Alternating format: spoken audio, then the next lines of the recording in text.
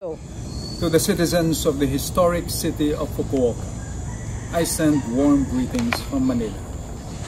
My name is Randolf David from the Philippines, and I'm one of the three individuals you have chosen for the 2019 Fukuoka Awards.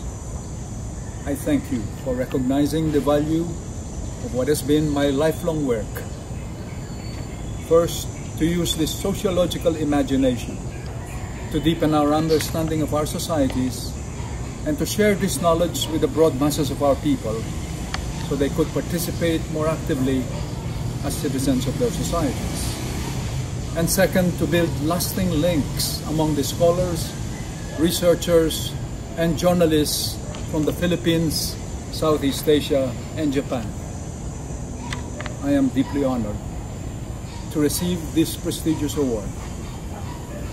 On a personal note, I'd like to tell you that when my wife Karina learned that I would be receiving the Fukuoka Award, she made plans to bring our children and grandchildren to witness the award presentation.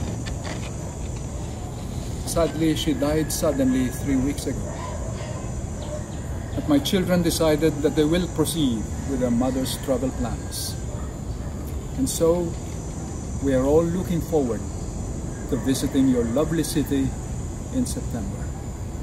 Thank you.